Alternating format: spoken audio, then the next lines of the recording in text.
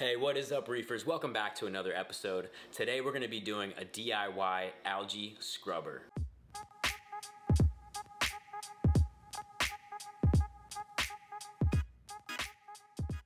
Once again, thanks for joining today. Before we do get started, as always, please hit that subscribe button for me. More subscribers we have, the more content we can continue to make for you guys. We're up to 500 subscribers. That's 500 more than I thought I would ever have, so I appreciate the continued support. Now, as I mentioned, we're gonna be doing a DIY algae scrubber today.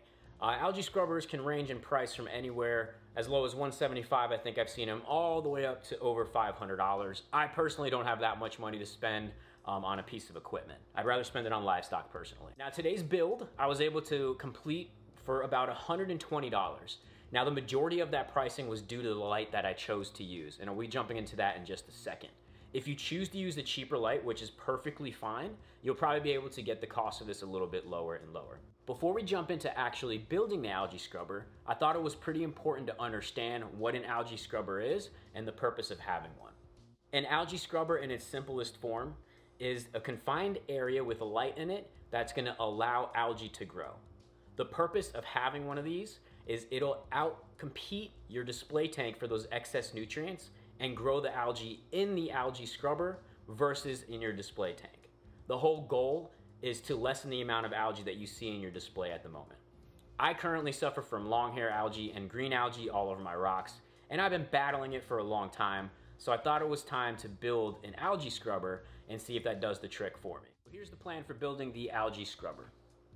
I'm using the front side of my sump to hold the light. My sump is smaller, so I need something on the more compact side of things. Now I'm super excited to build this. I've been in a big craftsman type of vibe lately and uh, I really was excited to pick up this project. We got to head downstairs to the workshop real quick to get a better area um, and go over how we exactly build the algae scrubber.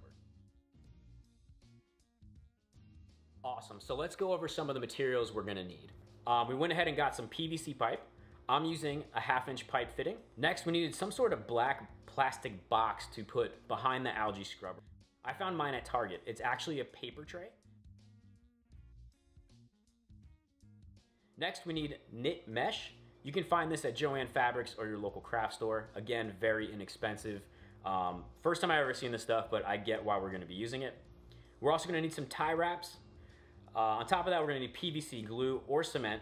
Of course, you gotta have your tape measure, mini return pump, um, and I'll leave a link down below to which pump that I'm using. You need something to cut the PVC as well. You can definitely do this with the manual hacksaw, or you can use a Dremel saw. I went with both. Uh, preferably, I liked using the Dremel saw a little bit better. Borrowed one from my neighbor since I don't own one and I didn't feel like purchasing one. I almost forgot, please don't forget the sandpaper as well as the light.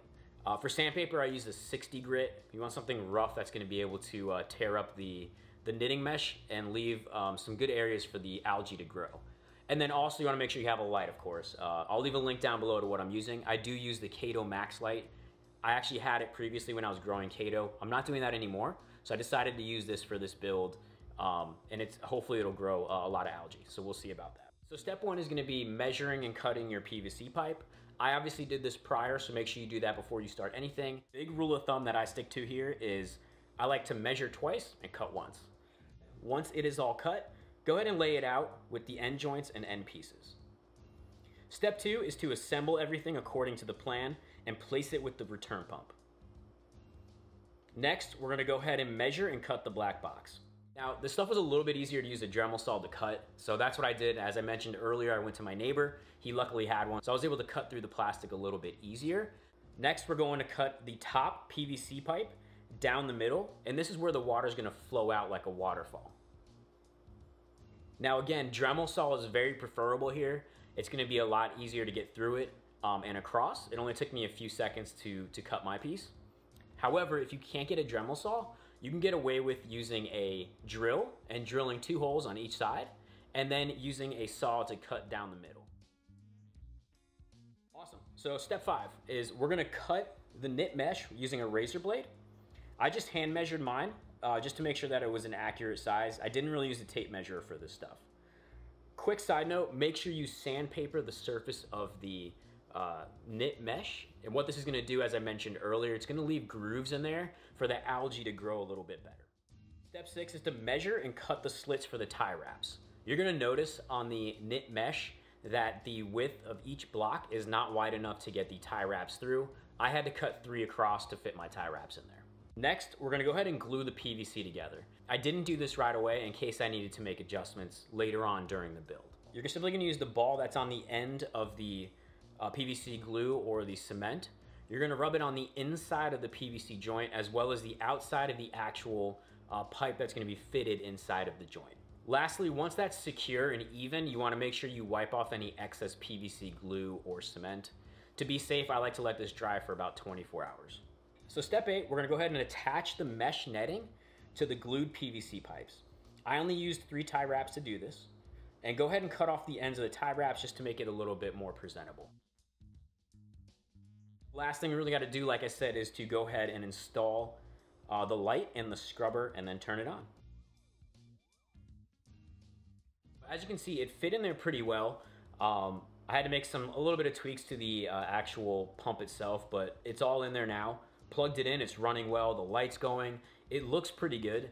Um, and as you can see, I did leave the front of it. I incorporated the build into my sump to save space. Uh, we're gonna see how that performs because usually algae scrubbers have both sides closed and I think it promotes better growth. Uh, but I'm hoping my Light is very powerful enough to grow some of this algae. So we'll definitely keep you posted and give you uh, another video down the line to show you what uh, a couple weeks worth of algae growing looks like. Awesome. I hope that helped everybody save some money and learn a little bit as well. Um, as I mentioned, I will go ahead and keep you guys posted in a couple weeks to see what kind of growth we really had. Before we do leave, please hit that subscribe button for me as always and smash that little bell button. It'll allow you to get alerts to when new videos do come up, especially the follow-up video to this one. You can also follow me on Instagram at Tankbruh. Um, I post pretty much regularly on a weekly basis.